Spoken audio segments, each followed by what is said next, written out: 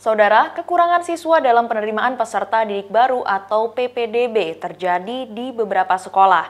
SD Negeri Jatimulyo 4 Kota Malang hanya mendapatkan satu calon siswa selama PPDB tahun ini. Pihak sekolah masih membuka pendaftaran bagi peserta didik baru. Di antara sekian banyak sekolah dasar yang membuka penerimaan peserta didik baru atau PPDB di tahun ajaran baru ini, SD Negeri Jatimulyo 4 Kota Malang menjadi salah satu SD yang kondisinya cukup memprihatinkan. Sejak PPDB dibuka serentak, SD Negeri Jatimulyo 4 Kecamatan Lokwaru ini hanya mendapatkan satu calon siswa dari pagu yang disediakan 28 anak.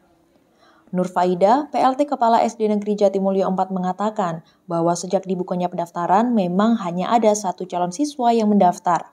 Perpanjangan masa pendaftaran pun dilakukan oleh pihak sekolah agar ada penambahan calon siswa yang mendaftar. Nur Faida sendiri tidak mengetahui pasti penyebab minimnya minat sekolah di SDN Jatimulyo 4.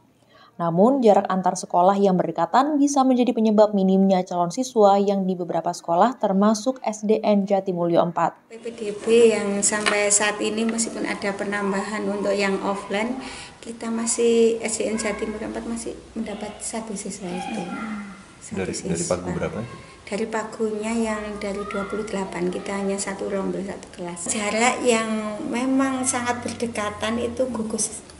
Ya ini dari Jatimulyo satu iya dan empat ini berdekatan sekali apalagi Jatimulyo satu itu di belakang kurang lebih hanya 200 meter, 75 meter atau berapa itu sudah ada Jatimulyo 5 di belakang sana.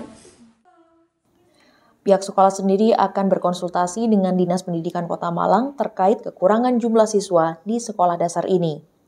Dedi Prasetyo, Kompas TV Malang, Jawa Timur.